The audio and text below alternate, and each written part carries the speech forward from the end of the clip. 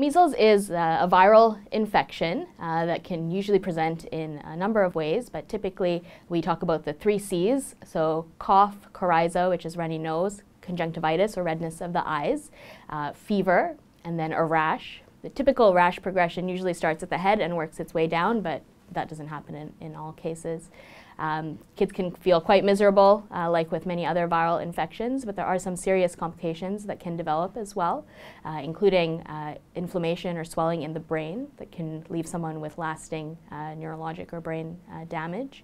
Uh, it can cause inflammation or swelling in the heart or lungs as well. Um, and so all of these can cause very serious, complicated infections and even lead to death. We know that measles can kill children one to two out of every thousand kids that develops measles infection will die. Um, so it is a serious illness. Uh, we know about the same number will develop potentially irreversible brain damage as a consequence of the infection. It's completely unnecessary because we have an excellent vaccine that prevents this infection.